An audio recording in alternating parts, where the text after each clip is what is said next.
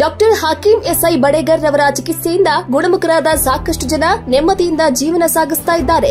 ಈಗಲೇ ಚಿಕಿತ್ಸೆ ಪಡೆದುಕೊಳ್ಳಿ ಕಡಿನ ಸಮಸ್ಯೆ ನಿವಾರಿಸಿಕೊಳ್ಳಿ. ಸ್ಥಳ ನಂಬರ್ ಏಳು, ಹಜರತ್ ಬಿಲಾಲ ಮಸೀದಿ ಹಿಂದುಗಡೆ ಮೂರನೇ cross Veerabhadra Nagar Belagavi. Phone number ಒಂಬತ್ತು ಮೂರು ಎರಡು ನಾಲ್ಕು ಒಂದು ಏಳು ಒಂದು ಒಂಬತ್ತು ನಾಲ್ಕು ಎರಡು.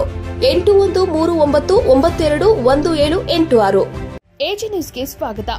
ಎಚ್ಡಿ ಕುಮಾರಸ್ವಾಮಿಯವರ ಅರವತ್ಮೂರನೇ ಹುಟ್ಟುಹಬ್ಬದ ಪ್ರಯುಕ್ತ ಬಡ ರೋಗಿಗಳಿಗೆ ಹಣ್ಣು ವಿತರಣೆ ಮಾಡಲಾಯಿತು.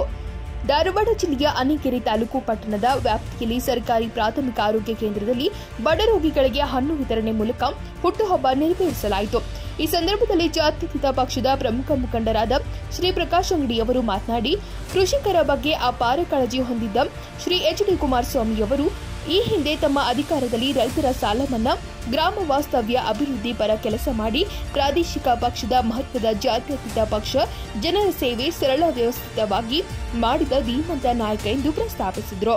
ಮುಖಂಡರು, ಇವತ್ತಿನ ದಿವಸ ರೋಗಿಗಳಿಗೆ ಹಣ್ಣು ಹಂಪಲ ಕೊಡುವುದರ ಮೂಲಕ ಅವರು ಹುಟ್ಟುಹಬ್ಬವನ್ನು ಆಚರಿಸ್ತಾ ಇದ್ದೇವೆ ಈ ಸಂದರ್ಭದಲ್ಲಿ ಪಾಲ್ಗೊಂಡಿರುವಂತಹ ನಮ್ಮ ಆತ್ಮೀಯ ಸಹೋದರ ಎ ಪಿ ಎಂ ಸದಸ್ಯರು ಆಗಿರ್ತಕ್ಕಂಥ ನಾರಾಯಣ ಮಾಡಳ್ಳಿ ಅವರೇ ನಮ್ಮ ಪಕ್ಷದ ಹಿರಿಯರಾಗಿರ್ತಕ್ಕಂಥ ವೀರೇಶ್ ಶಾನ್ಭೋಗ್ರವರೇ ಯೋಗೀಶ್ ಅವರೇ ಸಂಟಿ ಅವರೇ ಅವರೇ ಅಣ್ಣಣ್ಣವರೇ ಹಾಗೂ ಸದರ್ಭಾಯ್ ಅವರೇ ಮತ್ತು ನವಲ್ಗುಂದವರೇ ಜಟ್ಟಪ್ಪನವರವರೇ ಬಡಿಗೇರವರೇ ಹಾಗೆ ನಮ್ಮ ಕುಸದವರೇ ಮತ್ತು ಇಪ್ಪತ್ತೈದು ಸಾವಿರ ಸಾಲ ಮಾನ ಮಾಡಿರ್ತಕ್ಕಂಥ ಕೋಟಿ, ಇಪ್ಪತ್ತೈದು ಸಾವಿರ ಕೋಟಿ ಸಾಲ ಮನ್ನಾ ಮಾಡಿರ್ತಕ್ಕಂಥ ಒಬ್ಬ ಏಕೈಕ ಮುಖ್ಯಮಂತ್ರಿ ದೇಶದಲ್ಲಿ ಯಾರು ಇದ್ರೆ ಅದು ಸನ್ಮಾನಿಸಿದ ಎಚ್ ಡಿ ಕುಮಾರಸ್ವಾಮಿ ಅವರು.